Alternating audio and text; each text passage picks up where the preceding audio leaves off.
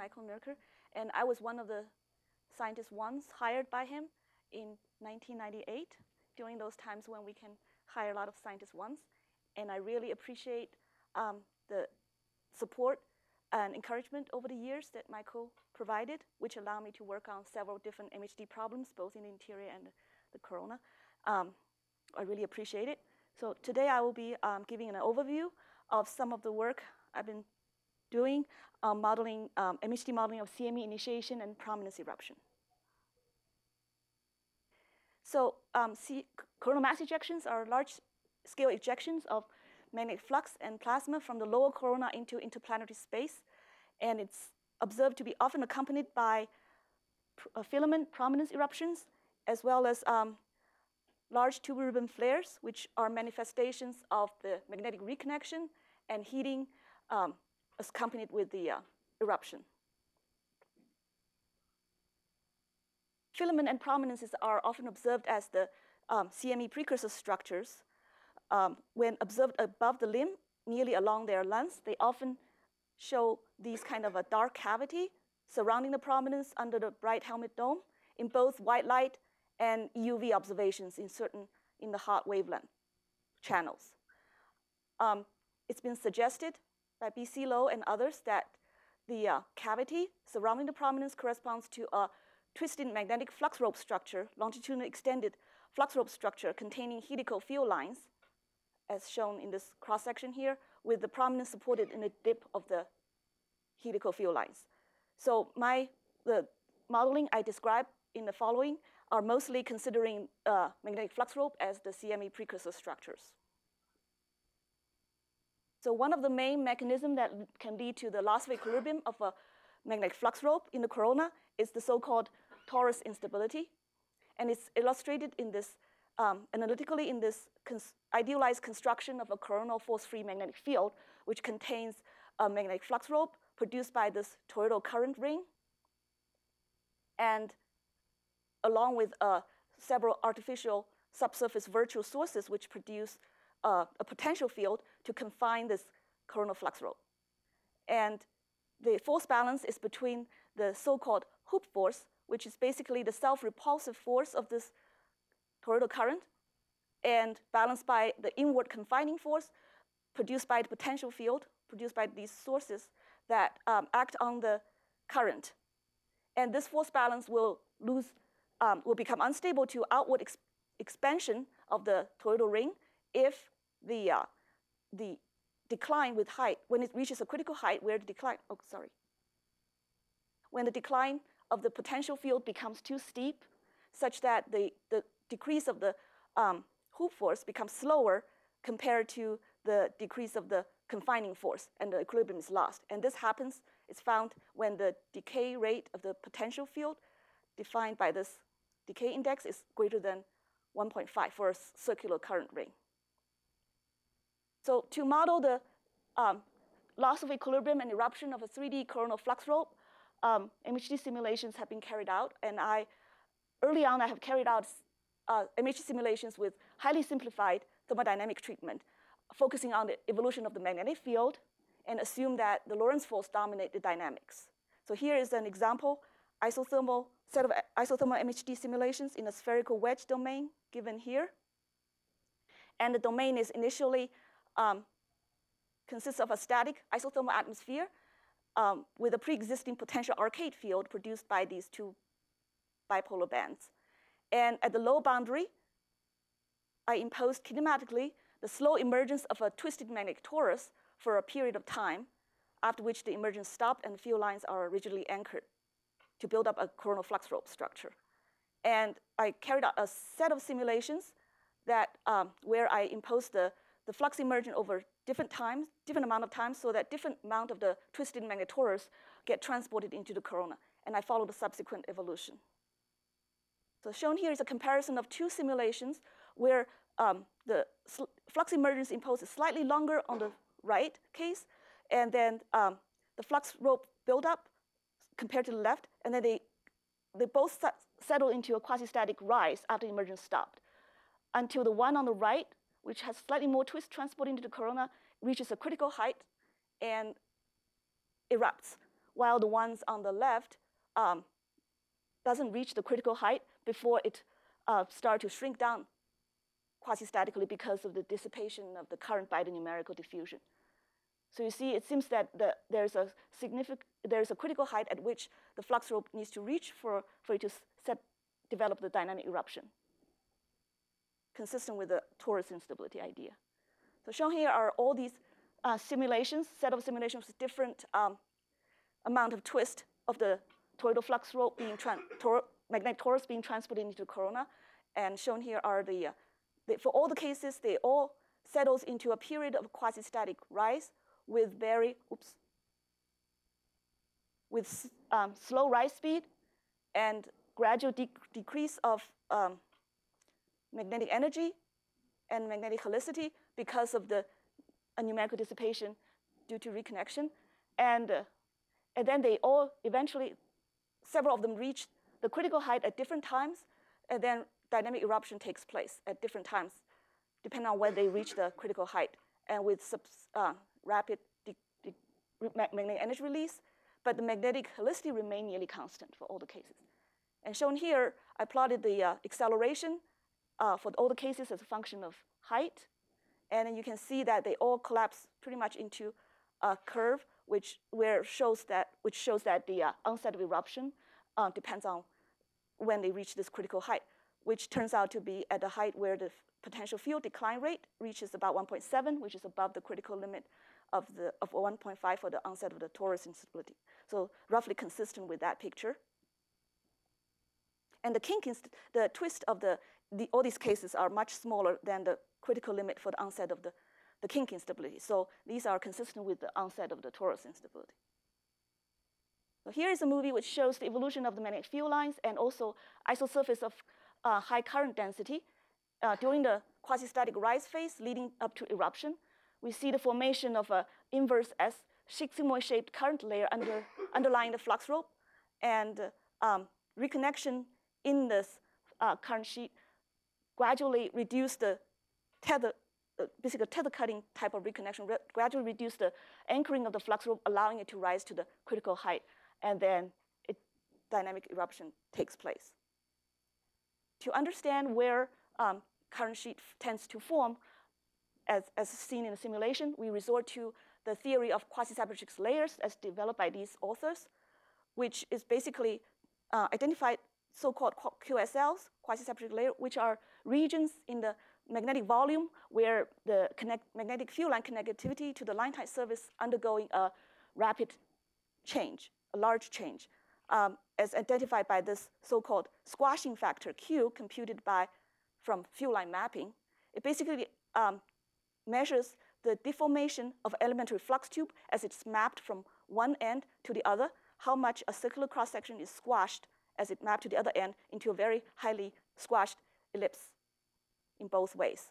So they, they are basically, QSL are boundaries of um, magnetic field with very distinct regions of different connectivities and therefore different dynamic behavior. So therefore, uh, under perturbations, current layer tends to form along the QSLs. So here is a comparison of the uh, uh, computed Q factors, this squashing factor, um, and the, the, current density we found in the simulation, and then for the two, showing two cross sections, a vertical central cross section shown here, and a horizontal cross section through the current layer. And we see that indeed the uh, strong current layers tend to form along so-called QSLs, um, where field connectivity undergoes a significant transition. And also the, uh, the, form, the current layer that forms um, has an inverse, has a sigmoid shape for this left-handed twisted flux rope, which may explain the tendency to see these X-ray sigmoid in um, pre-eruption active regions. So here, um, Chatterjee and um, who is a postdoc here, and I, we, we both together worked on a another further simulation where we emerged a more compact and highly twisted um, magnetic torus into the pre-existing arcade field. And we, we, we imposed a, a continuous Im emergence. And as a result, we find a repeated formation of kink unstable flux ropes in the corona, which um, undergoes eruption and develop repeated magnetic energy releases. And we find that the, the following eruption tend to be more energetic than the previous one, um, which is explain the, uh, and also the, the following eruptions can tend to catch up with the previous one because the previous eruption tend to open up the, the coronal field, so precondition the following ones, allowing it to catch up with the previous one, forming these so-called um, cannibal CMEs.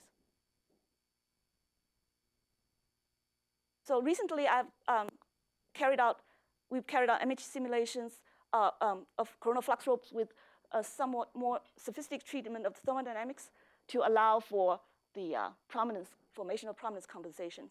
So as Matthias mentioned here, we solve the uh, semi-relativistic MHD equations, but with the energy equation explicitly including the non-adiabatic effects of the corona, which include um, the, the, following effect, which include the uh, field line thermal conduction and op optically thin radiative cooling, which can drive the which can drive radiative instabilities to produce prominence condensations, and an empirical coronal heating that sim simply depend upon height.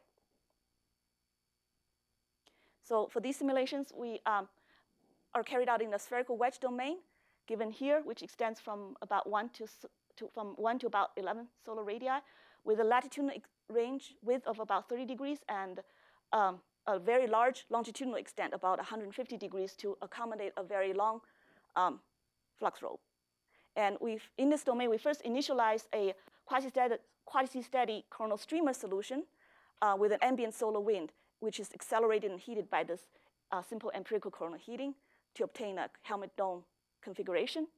And for the low boundary thermodynamic conditions, um, it's, it's, fixed, it's fixed at the transition region height with a fixed temperature of 500,000 K, and, but with adjustable base pressure, um, as described in Withbroe, which is directly proportional, try to drive that pressure to, be proportional to, to, a val to a value that's proportional to the thermal conduction. So sort of crudely mimic the effect of chromospheric evaporation. And also admit, we impose at the low boundary the emergence of a, a longitudinal ex, uh, extended magnetic flux rope. So from here, you can see that um, why radiative, is, uh, radiative cooling can drive radiative thermal instability to form prominence. When if you, for, for temperature perturbation, a small reduction of temperature, um, you'll find a in small increase in density because of the, if you assume that the uh, hydrostatic equilibrium is, is, maintained, then it will re result in an um, increase in density to maintain the same pressure. And that will, because of the n squared dependence, that will enhance the radiative cooling further. And also this dependence on temperature of the radiative cooling, which increases with decreasing temperature, is also destabilizing, which would drive a runaway radiative cooling all the way to the bottom of this cooling curve. And for our simulations, we actually truncated this curve to, to uh, suppress cooling below about 70,000 Kelvin because the uh, numerical resolution limit, we are simulating a large-scale eruption in a, a, domain that's of size scale of a solar radius. But in, the meantime, so we, we want to um, reduce the um, limit the the coolest the pressure scale height of the coolest material so that it doesn't go below the numerical resolution. So shown here is an um, where imposed emergence of a longitudinal extended uh, flux rope into the helmet dome. And as a result, the uh, prominence condensation developed at the dips of the, uh, the flux rope field lines. And as shown in this um, AIA, SDO-AIA 304 channel emission, which is sensitive, peaked at 80,000 Kelvin. And shown here is the evolution. So the flux rope builds up, and then condensation immediately form in the dips. And then the, the emergence stopped at when the twist reaches the total twist about 1.8 y, which is actually above the onset of the critical limit for the onset of the kink instability. But the flux rope remained confined and in equilibrium for a very long time until like draining starts. And then the central portion start to protrude higher into higher height, and then at some point, it undergoes an ejective eruption with substantial draining of the, the prominence along the two legs of the flux rope. as you've seen in a lot of um, prominence eruptions. So here is a CME which you actually find a associated prominence eruption. So to understand the dynamic effect of these, the prominence weight, I have carried out a comparison simulation where I suppress, where, where I drive the same emergence in both cases um, and keep all the conditions about them except that I suppress the formation of prominence condensations in the, for the case on the right by modifying the radiative cooling function and also artificially increase the uh, thermal conduction, which is, can stabilize this effect. Thermal conduction for, for temperature below 500 Kelvin. And as a result, here shows the simulation. You see that the, uh, they basically similar flux rope develops, but this one developed the condensations. And this one is kink unstable already, so it quickly um, rises up in the center and then develop eruption. Whereas this one continued to struggle, it's still running uh, for like um, 20 hours until draining starts, and uh, then the center part go to a certain height for the, and it become, it loses equilibrium and erupt. So we can see that, um, so here it shows a much earlier release of magnetic energy and the, and the onset of eruption. So we see that um, the prominence weight does play an important role in suppressing the, the, kink, the growth of the kink instability and affects the, the onset of eruption. So here, sh show here, we, we find that the, uh, the prominence carrying magnetic field in the flux rope can be substantially non-force free, even despite the fact that it's low plasma beta. So shown here is the vertical, a profile, oops, a profile of vertical forces along the central vertical line through the flux rope. Um, so you can see that in the region where there's prominence, there's a significant um, net Lorentz force due to, uh, with the imbalance between the magnetic tension and the, the, and the magnetic pressure gradient to support the, the, the gravi gravity force of the prominence. Oops, I can't control this. In comparison to the right, the uh, net Lorentz force is much smaller uh, with a well, a much better balance between the magnetic tension and the, pressure gradient force. So, so the, uh, the prominence carrying field is substantially non-force free. And even though the plasma beta is in the bottom, you can see is very low throughout the flux rope. And we also see that the, uh, the development of the acceleration as a function of height, the, uh, the case where with prominence, it seems the height, loss of equilibrium height is significantly increased compared to the non-prominence case. So we've, basically the conclusion is that the prominence weight plays a significant role in, uh, in the stability of the flux rope. And here, I carried out another case where I artificially induced draining.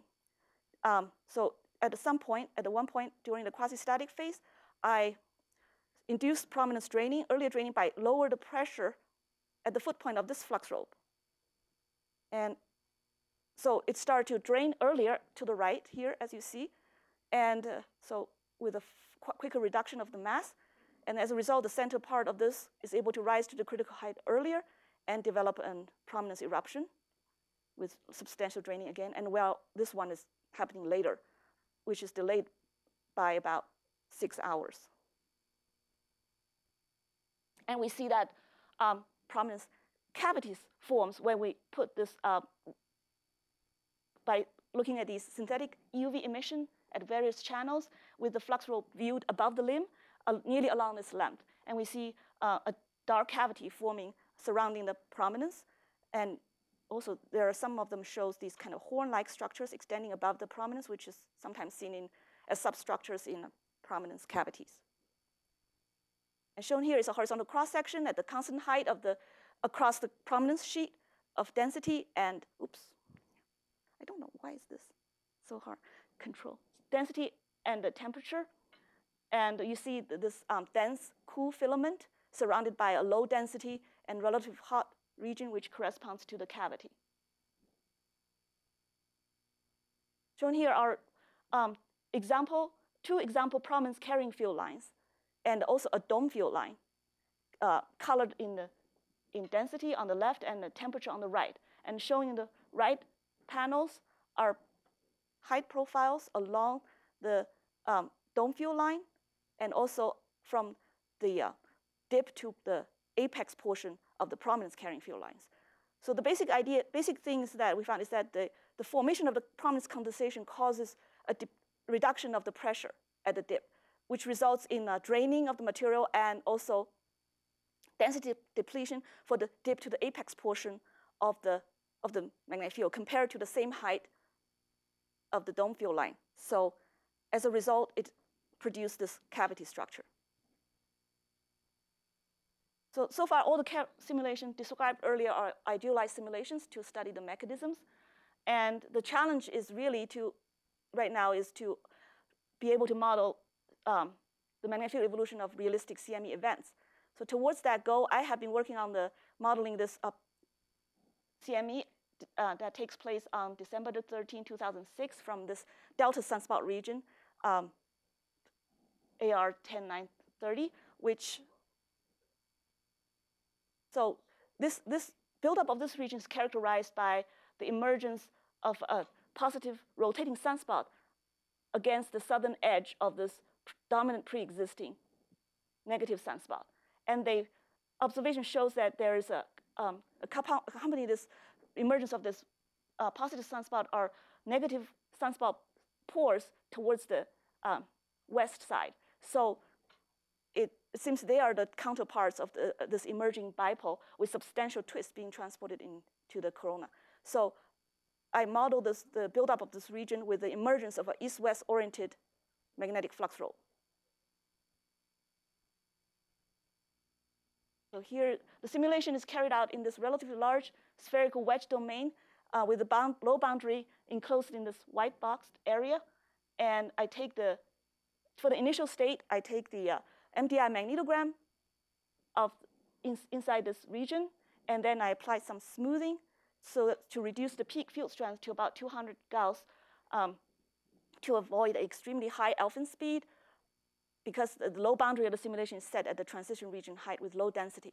And also, I, the region where the flux emergence is going to be imposed, I zero out the field in the flux emergence region and what use the remaining um, normal flux distribution at the low boundary to impose, uh, to, to initialize a um, pre-existing magnetic field with uh, ambient solar wind. And then I impose the emergence of um, this east-west oriented magnetic torus to build up the twisted magnetic flux, flux rope with the emergence pattern shown in this movie.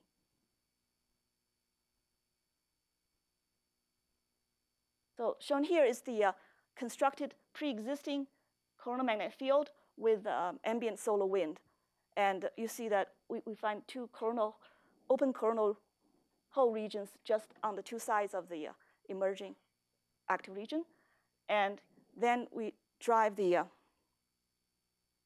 emergence, flux emergence in the zero out area.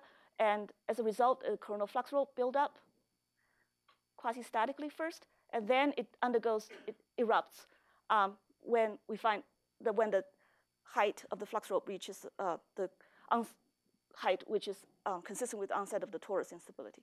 And we find that um, the eruption undergoes, the erupting magnetic flux rope undergoes a significant counterclockwise rotation because of the twist of the flux rope.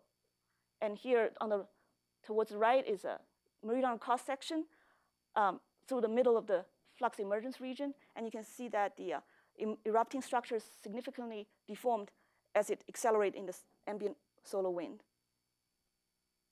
And shown here is the uh, synthetic X XRT, you know the XRT emission produced by the um, simulation during the eruption. And you see this transition from a um, very sharp, very narrow sigmoid structure toward into a, a sigmoid, broad sigmoid roll of sigmoid-shaped roll of uh, erupt post-flare loop structure, which is qualitatively similar to the observed XRT emission, which start from a sigmoid brightening into transition into a um, post-flare loop eruption. But there are lots of qu quantitative differences, of course. So in summary, um, idealized MHD simulations have shown that the, successfully shown the transition from quasi-equilibrium to ejective eruption of a coronal flux rope through the development of the torus instability when the flux rope reaches a critical height. And current sheet tends to form um, along the QSLs during the quasi-static phase, where magnetic reconnection allows the rise of the flux rope to the critical height for the onset of the torus instability, and explain, can explain the formation of X-ray sigmoid um, in the pre-eruption CME source regions. And we find that prominence condensations can form in the dips of the twisted field lines of, of the emerged flux rope due to runaway radiated cooling and produce a uh, prominence cavity system with qualitative features similar to observations. And we find that the magnetic field supporting the prominence can be significantly non-force free despite low plasma beta. And the prominence weight can significantly affect the stability of the flux rope and can increase the loss of equilibrium height of the flux rope. And the draining of the prominence can initiate an eruption. So in terms of trying to model realistic events, um, so far we can only produce qualitatively the features of the observed evolution. And we find that the CME can result from, for this event, the CME can result from the emergence of an east-west oriented twisted magnetic flux rope. And the model, the evolution of the soft X-ray brightening during the eruption shows some qualitative similarities to the Hinode observations.